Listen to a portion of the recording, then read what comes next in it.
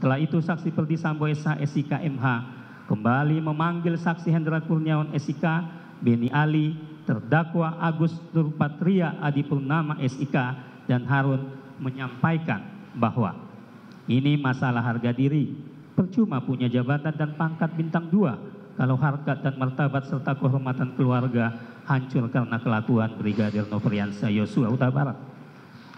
Saya sudah menghadap pimpinan dan menjelaskan.